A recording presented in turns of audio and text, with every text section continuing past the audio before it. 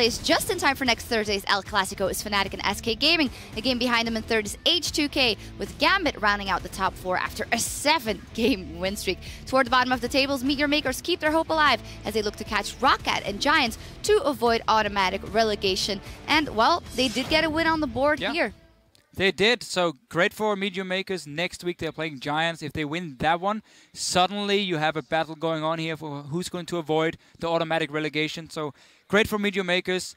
Not so good for Unicorns of Love because they're still obviously looking at this top six. They want to get into the playoffs, and yet you have to worry about elements. They are still having some problems, but we have to see what they can do next week because it's going. I think it's going to be between them and and Unicorns of who's going to get into playoffs and who's going to sit as number seven, and obviously avoid relegation, but not really go anywhere. Wow, very uh, interesting uh, observation there. Focusing on today's action, one player carried harder than the rest with 12 kills, 8 assists, and 2 triple kills, racking up over 44 points. Today's fantasy leader is H2K's Hjarnan on that jinx, making it happen today. Yeah, uh, if you have a Hjarnan, I guess you're very happy. If you're an H2K fan, you should also be happy because they're playing really well. And him and Kasing together has looked like one of the best dual lanes we had, not just in pure 2 and 2 laning, but also just because they're so good at knowing where to be on the map. Like Hjarnan is always the guy fast pushing the lanes, taking the towers, and Kasing is the guy roaming around creating kills for the rest of his team. So they look really good together, and just Kasing coming in, becoming his new support has made Hjarnan also really step up his game. Raymond pulling his weight. Looking at week six as a whole, a lot of players stepped up, but there were only five that we have deemed as OP. The first person that we are looking at is a Fnatic player, Yellowstar. He's not been in here for a couple of weeks, but uh, definitely stepping up here once again. 86 kill participation in this one, and two deaths in two games. playing Al- Alistar in both the games. So good at knowing when to go in and zone away from, or zone the enemy team away from his carries, and also just engaging. We also know he's the main shot caller from Fnatic, so whenever they're doing well, playing around the map, it's most likely Yellowstar making the calls. So Yellowstar making the calls, and someone who listens to those calls is Febiven, the mid laner, of course, for uh, Fnatic as our second OP player. Um, actually, he will come in a bit because I messed Ryu up. first. I messed up. What a spoiler! Ryu first from H2K, definitely stepping up. Just as we said that it might not be his playstyle to carry. What a performance on Kassadin for him. Oh, look great on Kassadin. You can see how everyone else from H2K were just making sure he was the guy getting fed. Loulex ganked for him a few times. And yeah, okay. February is going to come next as a guy. He was the former H2K mid laner. And now, of course, Ryu is the guy playing in there and starting to really step it up. We see more and more from Ryu every week. Yeah, and guess who's next as OP? Oh, Joe? um, could it be? Who could it No, it's Febiven. Oh, right, okay. anyway, yeah, Febiven, as I said, also one of the uh, few players to make that double AD work and make that Ezreal in the mid lane work, and he's Yeah. just having fun with it. He really used that mid-game spike he talked about, Trinity Force Manamune, to his advantage. And Fnatic and Febiven just looks so solid every single week when they play together. And for he, he could have been here nearly every week because he's just so good in this mid lane. We've seen him carry games beforehand, and this one, same deal.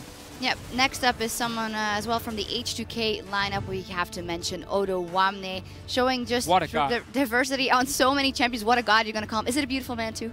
He's also a beautiful man for sure, but now you're just forcing me to say it, and then it doesn't really count. If anyway, the shoe fits. Odoamne can play literally every style in that top lane. He can be the tank, he can be the carry. His Maokai today, locking down Ken and everything and just always setting up kills for his team was so good. And I think Odoamne, um, as some of the coaches said, mm-hmm. definitely a top two top laner in Europe. Top two is our next OP in that top two as well. Cabochard. We talked about him beforehand. You highlighted him with his Morgana play. Very impressive and just playing that many champions and making plays for the team. Yeah, Cabochard, fantastic laner, and we see Gambit play around it. Always make sure he gets going early on, because yeah, in team fights and of course in the laning phase, great mechanics. He knows how to carry a game for his team, and Gambit looks great together with uh, Cabochard. You had to send Odoamne and Cabochard mid, like one versus one. And see Oh, that would be the- pretty sick. That would be impressive. Well, of our OP5, one player really put on an amazing show, leading their team to the victory over the last two days. Our Week 6 MVP with 32 assists and 84% kill participation and a KDA of 7.6 in two games as Maokai. It is H2K's Odoamne. We were already singing his praises, absolutely deserving it. Not on Gnar this time, still the same performance. 84% kill participation as a top laner, that is insane. He's part of nearly everything H2K does. He's also one of the players making a lot of calls into team fights. And when you have that kind of top laner who can play all these different styles, it makes the pick and ban phase so easy for you because you don't have to worry about him being counterpicked or being banned out because there's so many champs for him to pick from. Yeah, H2K on their way up as a whole as well. There are only three weeks left before playoffs, so every game matters. We'll be back here in Berlin next Thursday, week seven, as Meet Your Makers face Giants Gaming. The Copenhagen Wolves will go up against Elements, and we'll have our last El Clasico of the split between SK Gaming and Fnatic. And with the way the standings are shaping up, this match could tell us a lot about the spring playoffs, and it is full EU LCS here. It is full EU LCS. That's hard to say LCS. Full EU LCS. Everyone is beating each other.